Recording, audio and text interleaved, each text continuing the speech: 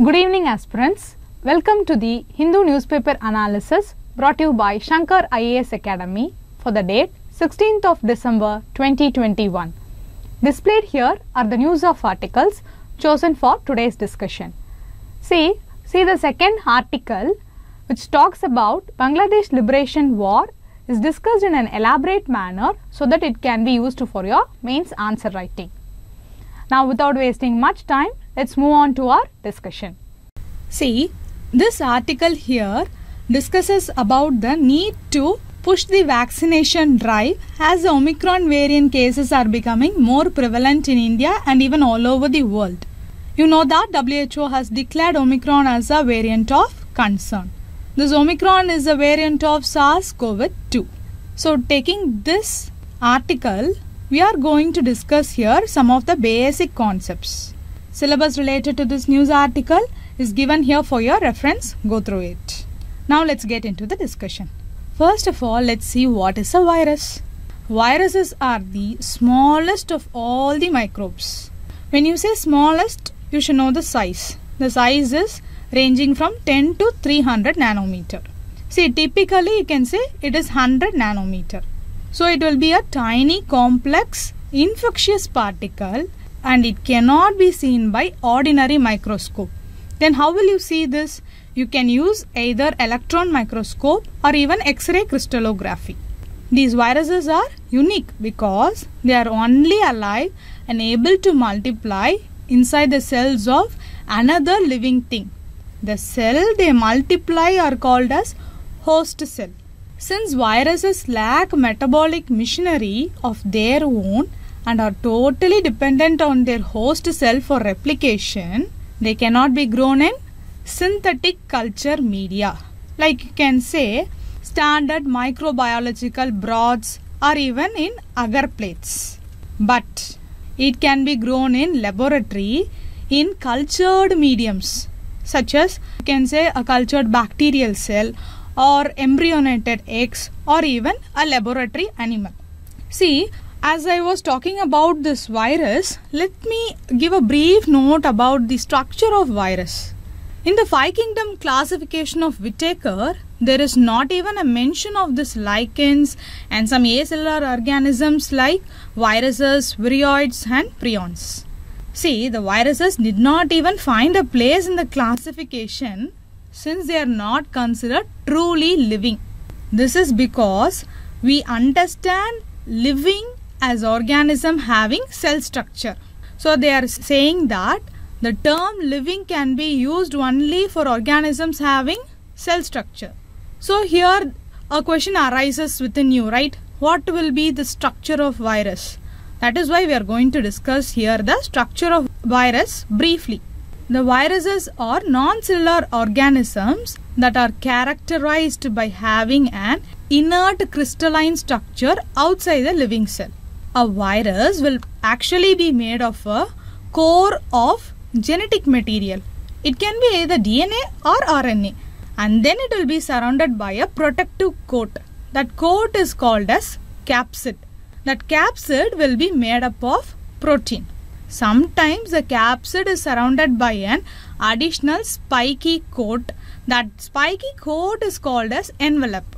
Viruses are capable of latching on to host cell and getting inside them. Remember, no virus contains both DNA and RNA. See, virus has a nucleoprotein and the genetic material is infectious. In general, viruses that infect plants have single-stranded RNA and viruses that infect animals have either single or double-stranded RNA or it can even have double-stranded DNA. Bacterial viruses or bacteriophages. What is this bacterial viruses? Viruses that infect the bacteria. They usually have double-stranded DNA viruses. Now, moving on to how this virus infects our human body. See, the first step is it will enter the human body. How will it enter? Either through nose, your mouth or your eyes or even it will break through your skin and enter. So first step over, it entered your body. Okay. The second step is it need to infect your body. how will it infect? Once it gets inside the body, it will inject its genetic material. So naturally we get infected. The next step is it need to multiply and it need to hide from our immune system. That is it will hijack the cell in order to make many copies of itself and it will hide from our immune system to protect itself. So it first entered, it infected, then it got copied, then now it is going to spread. How it is going to spread? The host cell will die as a virus multiplies and moves into more cells. This is when the body gets sick. See, it is starting to spread. So naturally you will fall sick because more number of viruses are getting accumulated in your body. See, the last step we will see later on. Okay, in our discussion we will see at the end. Now for a better understanding, a video will be played illustrating how a virus infects the body.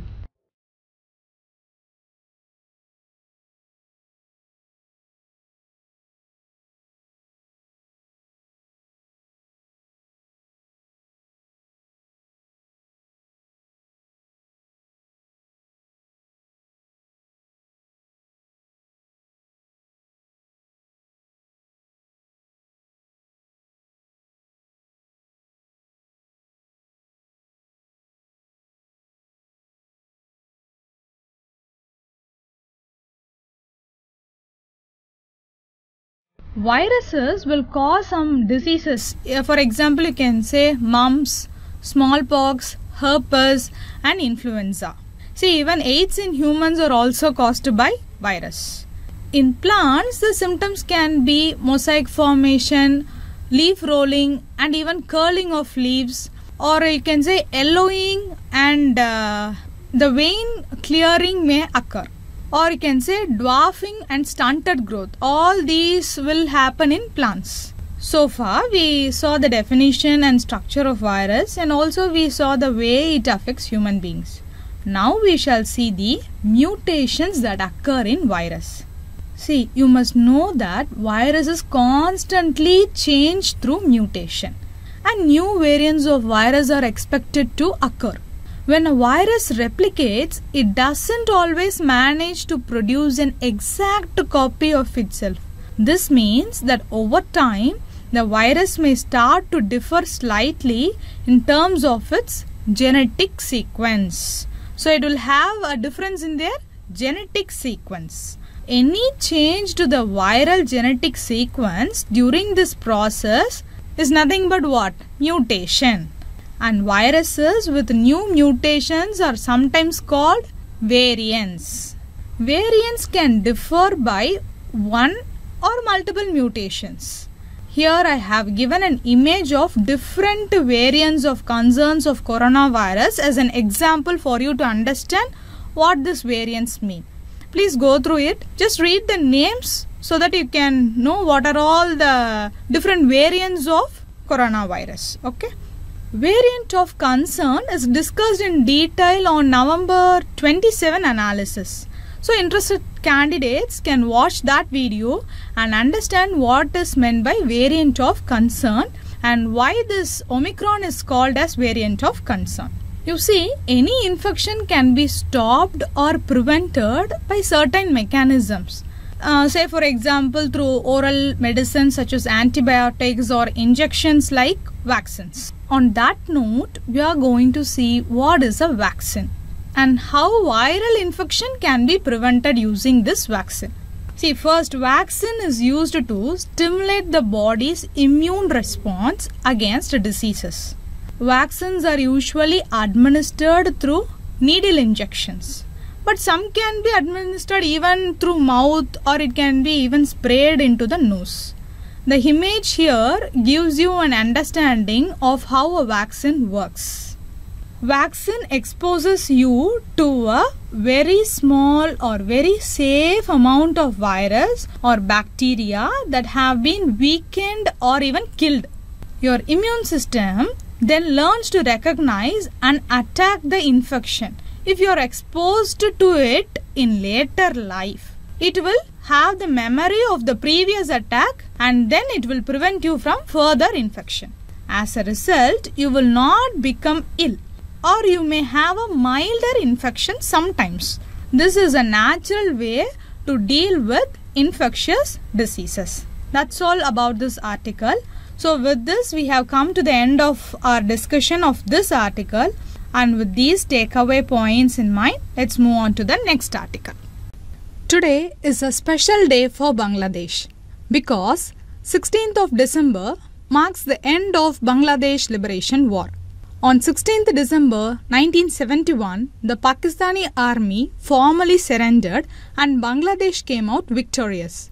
Today, the 16th of December 2021 has additional significance since it marks the 50th anniversary of Bangladesh victory over Pakistan. So today there is one editorial and three more news articles that touch upon the Bangladesh Liberation War of 1971. See, this is going to be a detailed discussion, so brace yourself. I'll make the discussion interesting, so no need for worry. Many aspects of today's discussion will be very useful for your mains examination. So pay good attention to the discussion. Okay? So first we will see the crux of each article one by one. See, this editorial mainly deals with Pakistan and Bangladesh relations. It focuses on how still Pakistan has not asked for a formal apology from Bangladesh for numerous war crimes committed by the Pakistani army. Pakistan's position from Benazir Bhutto through Pervez Musharraf and now with Imran Khan has remained the same. Every Pakistani leader has maintained the official position of the government that is forgive and forget. But for Bangladesh to forgive Pakistan, Pakistan must take steps to ask for forgiveness. This is not at all happening. So, according to the author, Pakistan expecting Bangladesh to forget even without asking for forgiveness is not right. This is the overall skeleton of this editorial. The second article is an extract from the interview with former diplomat Mr. Chandrasekhar Das Gupta. Here, Mr. Das Gupta compares the Indian Army's involvement in Bangladesh and Sri Lanka. He mentions that the lot of goodwill that India enjoys in Bangladesh is due to India's pragmatic decision. The decision he mentions here is how the Indian government decided a date to pull out the Indian troops from Bangladesh even before the Indian troops entered the country in December 1971. The article also mentions how the India-Pakistan War of 1971, which lasted just for a total of 9 days, but had a preparation of 9 months. See, as early as April of 1971, India started taking steps. In November 1971, even before the Indian army entered into Bangladesh, the final date of withdrawal was set. It was set at 15th March 1971. Like this, there was no clear exit strategy with regard to India's peacekeeping force from Sri Lanka. This is the crux of this article. Now moving on to the third article. See, currently our president is in Bangladesh as a part of a three-day visit. To mark the 50th anniversary of Pakistan's defeat, our president will inaugurate a renovated Hindu temple, Sri Ramna Kali Mandir. See, this temple was destroyed by Pakistani forces as a part of Operation Searchlight. Our president has also assured his counterpart that travelers from Bangladesh will be able to get Indian visa almost immediately. See, you can use this information in your mains answer when there is a question relating to recent measures taken in regards to India-Bangladesh relation. Now coming to the final article, the Congress party chief mentions that 1971 was our former President Indira Gandhi's finest year. Congress chief also mentions that 1971 war is one of the best examples of perfectly crafted war in all spheres. That is, politically, diplomatically, and strategically, the war was perfectly executed.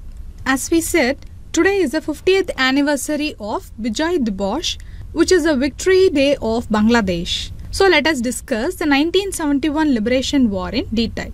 We will discuss the causes of the war, cause of the war, and also we will look at the reason that led India to send its troops into Bangladesh and Also, we will see about the Shimla Agreement and the Delhi Agreement. Finally, before ending the discussion, we will see what was the real reason that motivated India to involve itself in the war. Okay? The syllabus regarding this discussion is highlighted here for your reference. Please go through it carefully. Now let us start our discussion. Why did Bangladesh, which is formerly known as East Pakistan, decided to get detached from Pakistan? See, one of the fundamental basic reason is Pakistan treating Bangladeshi people as second class citizens. This mentality of Pakistan eventually led to the liberation of Bangladesh. First issue came in the form of language.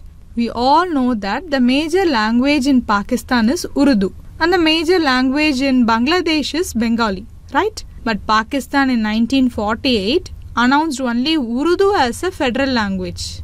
This agitated the Bengali people. They started the language movement demanding equal treatment of Urdu and Bengali. But this demand was never addressed by Pakistan. Next issue came in the political sphere. After gaining independence from British, India adopted a democratic form of government. But this was not the case with Pakistan. There was domination of undemocratic military government by West Pakistan. This led to Bengalis having no political say at all. This meant most of the central funds were allocated to Western Pakistan and Bangladesh not receiving enough money. This further angered the Bengalis. While all these issues were silently burning, the trigger came in the form of the 1970 general election. See, in Pakistan in 1958, General Ayub Khan was in power and he was followed by General Yahya Khan. But after the 1970 election, Awami League of Bangladesh, headed by Mr. Mujibur Rahman, came out victorious. But after the 1970 election, Awami League of Bangladesh, headed by Mr. Mujibur Rahman, came out victorious. Awami League had a clear majority.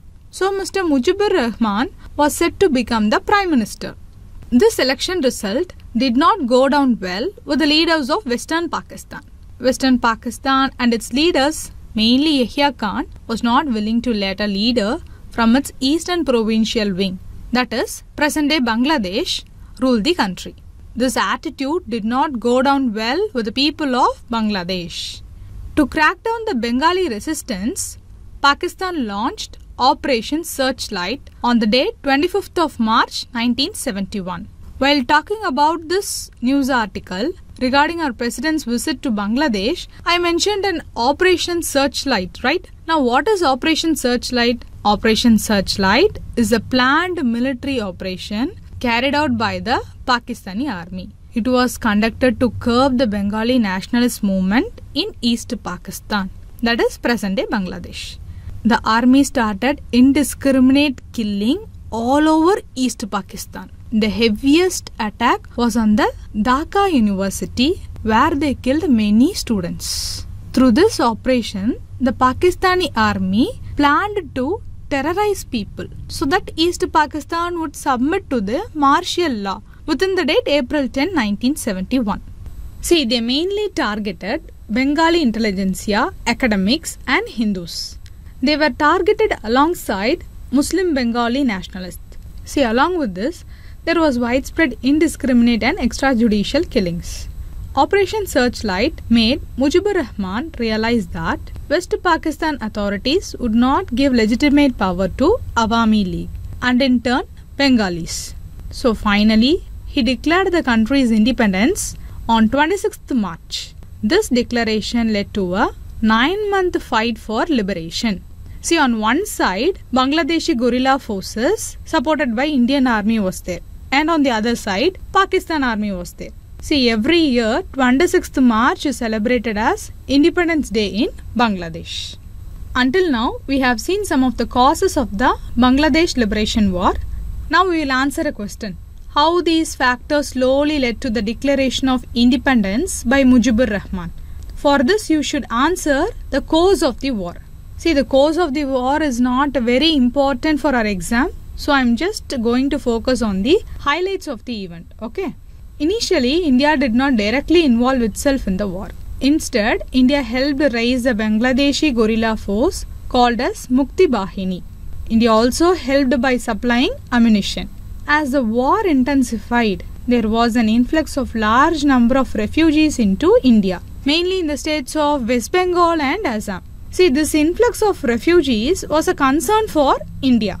So, our Prime Minister decided that a war with Pakistan is inevitable because only if this crisis in Bangladesh comes to an end will the influx of refugees stop. But India decided to wait for the right trigger and right cause for it to send its troops into Bangladesh.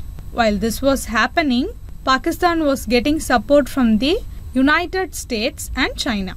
See, Richard Nixon was the president of United States at that time and this Richard Nixon ignored the Bengali genocide that the Pakistan military was committing and decided to support Pakistan by sending arms and ammunition to it. This alarmed Indian leaders. So India deviated from its position of non-alignment and signed a friendship treaty with Soviet Union. The Indo-Soviet Treaty of Friendship and Cooperation was signed on August 1971. Okay. Now let us see what triggered India to send its troops into Bangladesh. See, on the evening 3rd December, the Pakistani military launched the operation Chengiz Khan. This operation targeted 11 of India's airfields and also included artillery strikes on Indian position in Kashmir. The targets were the Indian bases of Amritsar, Ambala, Agra, Avantipur, Bikaner, Halwara, Jodhpur, Jaisalmer and even Pathankot, Bhuj, Srinagar and Uttarlai. And lastly, air defense radars at Amritsar and Faridkot. As a side note, I want to add an interesting fact. Look at this image. See, to prevent the visibility of Taj Mahal at night, in the wake of air raids by the Pakistan Air Force, the Taj Mahal was covered in jute. This is just an interesting thing to know, so I added it here. But this is not uh, to be used in the examination. Now coming back, this operation by Pakistan, that is Operation Chengiz Khan, was what India was waiting for. After this attack by Pakistan, India declared war. With 13 days of India's involvement, Pakistan was defeated and eventually Pakistan surrendered. Another interesting piece of history I'd like to add here. On 11th December, US Navy deployed its nuclear powered aircraft carrier USS Enterprise in Bay of Bengal. This was done to intimidate the Indian Navy. But since India already signed a treaty of friendship with the Soviet Union, they decided to stand by India. On 13th December, Soviet Navy deployed a group of warships to counter Enterprise. To avoid a possible confrontation, the US Navy decided to pull out USS Enterprise from Bay of Bengal. This is why people mention India's victory in the India-Pakistan War of 1971 as not just due to its military but due to its intelligent diplomatic and political maneuvering. Now coming back, finally in just 13 days the Indian army overran Pakistan in both eastern and western front. In the east it captured Dhaka and liberated Bangladesh. In the west that is around Jammu and Kashmir, Indian forces captured around 15,010 square kilometer of land of Pakistan. Now what happened after the war? Two important agreements were signed. They were the Shimla Agreement and the Delhi Agreement. Eight months after the war ended, India and Pakistan signed the Shimla Agreement or you can say Shimla Accord in the year 1972.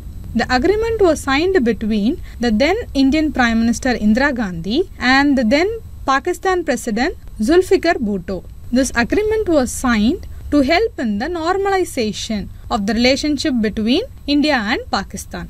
See, in this agreement, India and Pakistan agreed to settle any future differences by peaceful means and through bilateral negotiations. Both the countries also agreed to respect the territorial integrity of each other and not interfere in the internal matters of each other. Finally, India and Pakistan decided to withdraw their troops to their side of the international border. India did this as a goodwill measure, but this move of India was criticized later. India had a huge advantage after the war.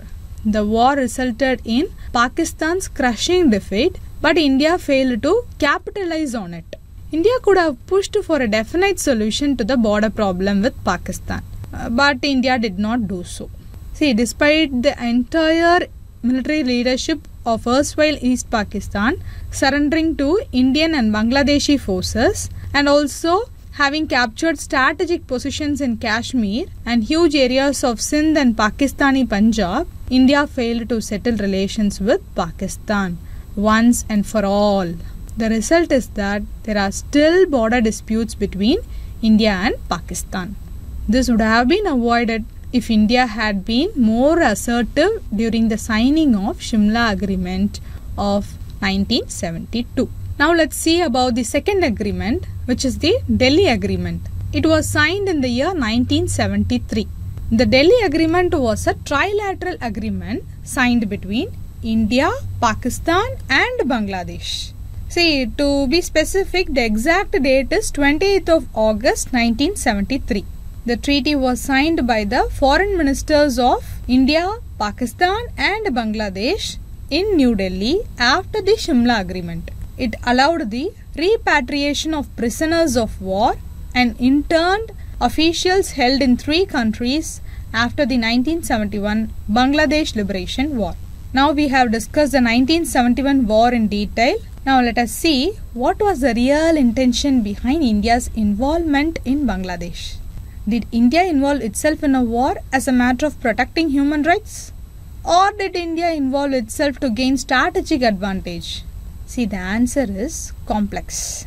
There is no one correct answer for this.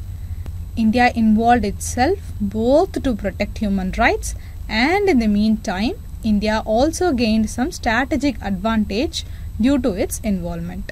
See, in the case of human rights, India did help uphold the democratically elected Awami government rule in Bangladesh. India also helped to put an end to Pakistani army perpetuated Bengali genocide and the attack on minorities. Finally, India also helped bring an end to the refugee crisis. Now let us see the strategic gains made by India by involving in the war. Consider this if Bangladesh was still a part of Pakistan, India would have had a very hostile neighbor on its western and eastern frontier. This would have been a strategic disadvantage for India, especially Indian military. Now, after Bangladesh, India can concentrate just on containing Pakistan and focus only on the western side. This was an important strategic will for India. India gained this through its involvement in the war. Also, by supporting Awami League and helping it come to power, India helped install a pro Indian government in Bangladesh. This was also a strategic win for India. In terms of the refugee crisis, most of the refugees, that is more than 90% of the refugee population, were Bangladeshi Hindu minorities. These refugees came and settled in border districts of West Bengal with large Muslim populations. So, this led to the condition that could lead to communal strife in India. So, by bringing the war to an end and stopping the flow of refugees, India prevented a possible future communal strife. Finally, by coming out victorious in the war, India showed the world that it is India who runs the show in South Asia. India announced to the world that it is the dominant player in the region. So, these are some strategic gains made by India as a result of the war. So, as I said, the answer to the question did India involve itself in a war as a matter of protecting human rights or did India involve itself to gain strategic advantage is indeed a complex one.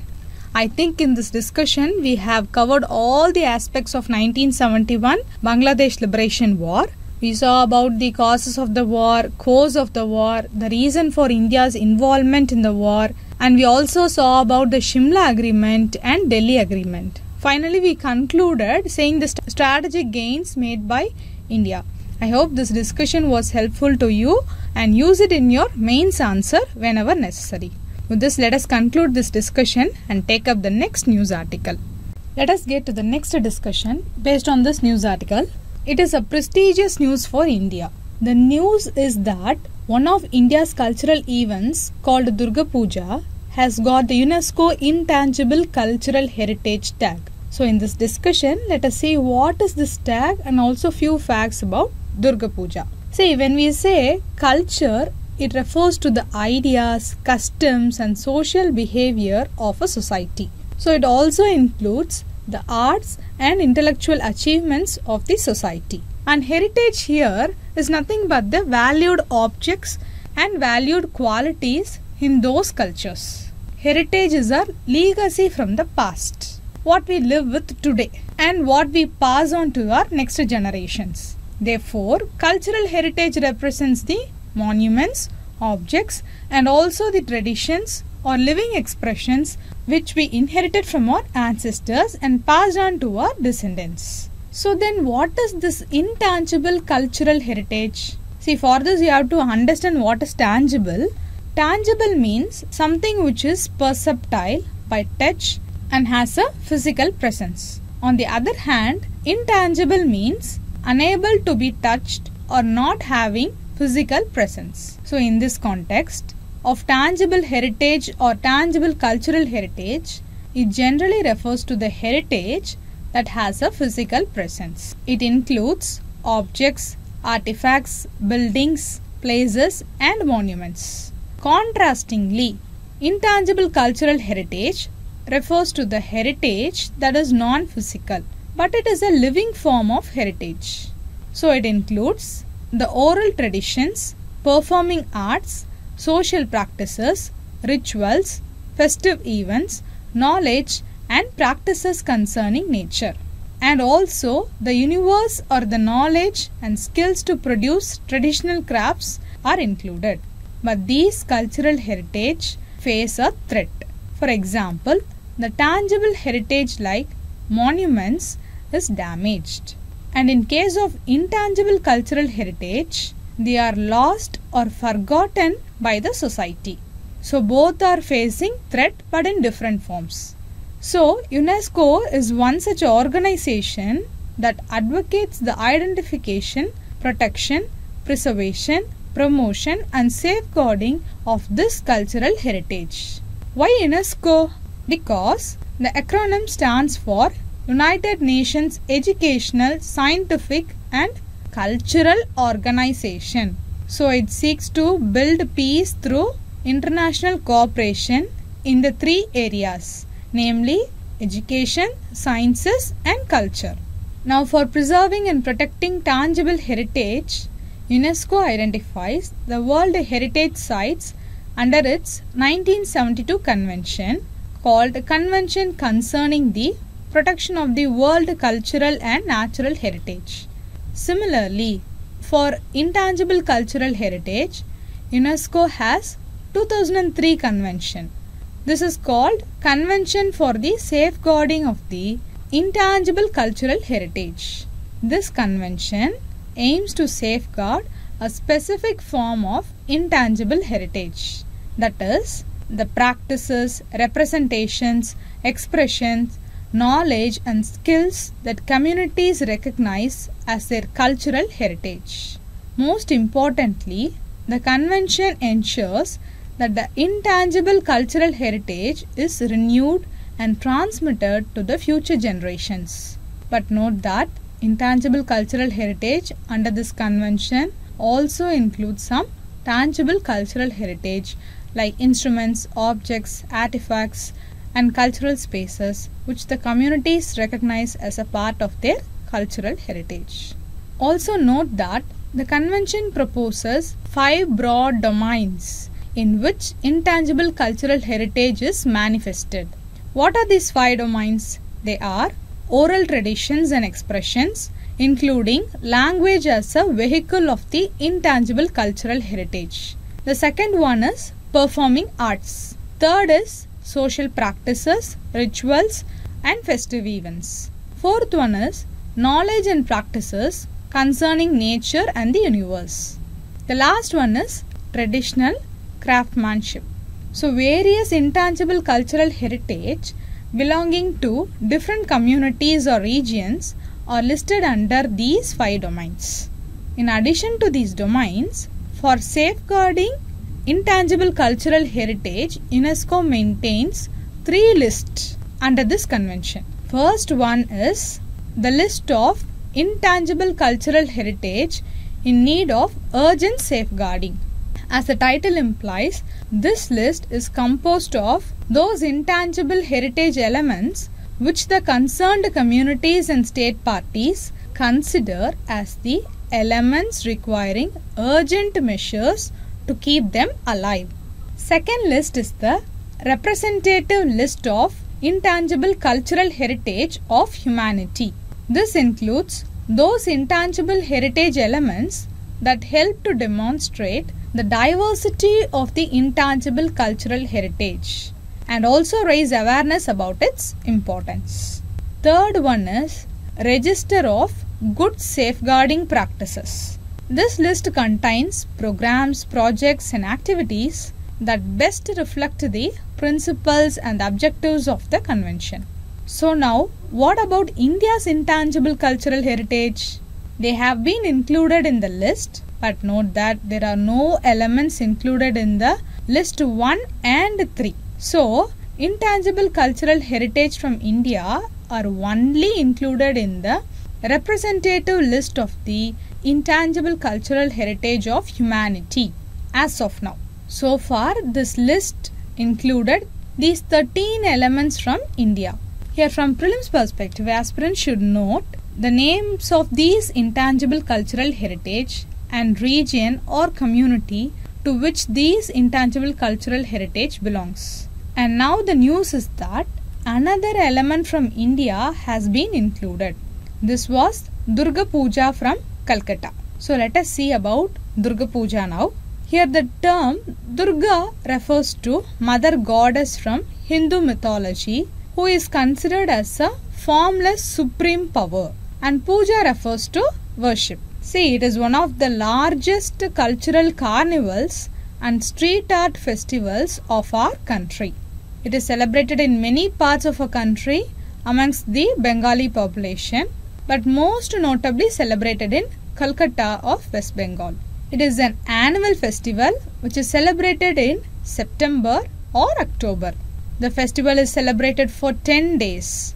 Most notably, in the months preceding the festival, small artisanal workshops they sculpt images of Durga and her family using unfired clay.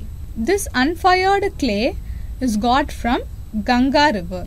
The festival starts with painting the eyes of the goddess in the sculpture and it ends with immersing the sculpture back into the river. The cultural significance of Durga Puja is that it combines both religion and art. So it is a thriving ground for collaborative artists and designers. Therefore, now this cultural carnival has got an international recognition. That is, it has got the UNESCO's Intangible Cultural Heritage tag under the representative list of the Intangible Cultural Heritage of Humanity. That's all about this article. See, in this news article, the author discusses about the government's plan to extend its fiscal support. This fiscal support is mandatory for the setup of fabrication units in India. Thus, the cabinet has approved an amount of 76,000 crore for the purpose of semiconductors. See, in this context, we will discuss about India semiconductor mission and we will see the importance of the semiconductor industry in India. But before getting into the discussion, we will learn what is a semiconductor. A semiconductor is a material that usually comprises of silicon. This semiconductor conducts electricity more than an insulator but less than a pure conductor. So just look at this graph. It will be very useful for you to understand that the conductivity of semiconductor lies between conductor and insulator. Now let's begin our discussion about the news article.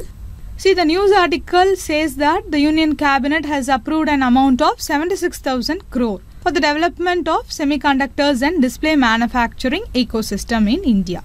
In addition to this, the government has also planned to set up India Semiconductor Mission. Now we are going to explain in detail about this India Semiconductor Mission. This mission will be a long term strategy for developing a sustainable semiconductor and display ecosystem. The mission will be led by global experts in semiconductor and display industry. Importantly, this mission will act as the nodal agency for efficient and smooth implementation of the schemes on semiconductor and display ecosystem. Now we will see the vision of this India semiconductor mission. The vision is that to position India as a global hub for electronic system design and manufacturing. Also, it has a vision to further the vision of Atmanirbhar Bharat. The mission of India Semiconductor Mission is to bring a new era in electronics manufacturing by providing a globally competitive incentive package to companies in semiconductors and display manufacturing. So now you understood about the vision and the mission of India Semiconductor Mission. Now we will go into the aim of this mission. The main aim is to provide attractive incentive support to companies that are engaged in silicon semiconductor fabs, display fabs, compound semiconductors or silicon photonics or sensor fabs or even semiconductor packaging and also for the semiconductor designs. See, I have mentioned a word here fab. It's nothing but fabrication. Just the fabrication term is abbreviated as fab. We'll see some of the incentives that have been approved for fulfilling these aims. For example, for setting up of semiconductor fabs and display fabs, a fiscal support of up to 50% of the project cost has been approved. This fiscal support will be given for eligible applicants. Now we will see what is planned for semiconductor laboratory. The cabinet had approved that the Ministry of Electronics and Information Technology will take steps for modernization and commercialization. Also, they will explore the possibility for the joint venture of semiconductor laboratory with a commercial fab partner. All these are done to modernize the fabrication facility. Government has also approved several other incentives in order to achieve its aim. Even under the production linked incentive scheme, several incentives have been approved for the purpose of developing this semiconductor industry.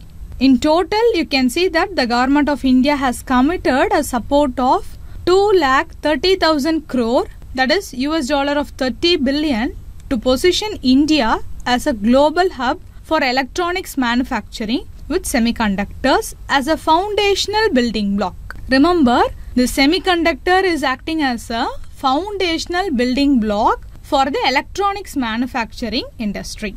Now we will see why is the semiconductor industry being so important for India.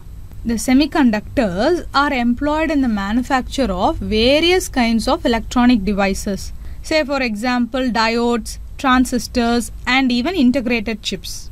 Such devices have found wide application because of their certain specific characteristics. Like you can see compactness will be there, reliability will be there, power efficiency, all these characteristics of semiconductors play an important role for them to be used in several electronic devices. I'll tell you some products where we use these semiconductor devices. See products like smartphones, smart TVs, not only that, also in industrial applications, defense related equipments, and even in aerospace, we use semiconductor devices. Thus, we can say that semiconductors are indispensable in our day to day life. Also, note that the semiconductors act as foundational technology for the advancement in other critical and emerging technologies. Say, for example, Semiconductor technologies are majorly used in automobile sector, in data processing and in various other sectors. Thus we can understand that the development of the semiconductor industry will have a multiplier effect across different sectors of the economy. The multiplier effect here means if you develop semiconductor industry, all other industries that are dependent on semiconductor will gradually have an increase in its production value as well as product value. That's all about this article. See now we will discuss the prelims practice questions and look at the answers for them. The first question is consider the following statements regarding virus. Viruses cannot be grown in laboratories. That is the first statement. Second statement is viruses have both RNA and DNA. The answer here is option D. That is neither one nor two. See, statement 1 is incorrect because viruses can be grown in laboratories. Remember we saw in the discussion it cannot be grown in only synthetic mediums but it can be grown in laboratories in cultured cells like bacterial cells or animals or embryonic cells. Since viruses are non-cellular organisms that are characterized by having an inert crystalline structures outside the living cell, they are only alive and able to multiply inside the cells of other living things. Why statement 2 is incorrect means viruses can have only either RNA or DNA. See remember we saw plant cells have single stranded RNA and viruses that infect animals have either single or double stranded RNA or double stranded DNA. No viruses will have both RNA and DNA. Hence option 2 is incorrect. Now moving on to the second question. Which among the following are eligible to be inscribed as UNESCO's intangible cultural heritage? See there are four points. Grammar of a language, religion, festivals and rituals. In this, look at the first point. Grammar of a language. Remember, specific languages cannot in themselves be nominated as elements to the list. According to the 2003 UNESCO's convention, including a syntax or a grammar or an entire lexicon of a language are not allowed. Hence, if you find that grammar of a language is wrong, you can just apply the elimination technique.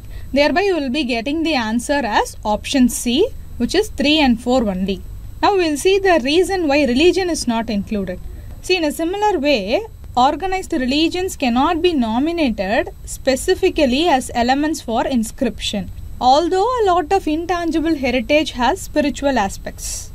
Intangible cultural heritage elements relating to religious traditions are normally presented as belonging under the domain of knowledge and practices concerning nature and the universe or social practices or rituals and festive events.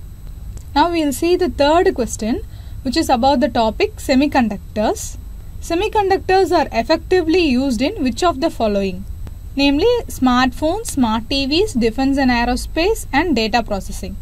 Do you remember in our discussion we saw it is an indispensable thing in our day to day life.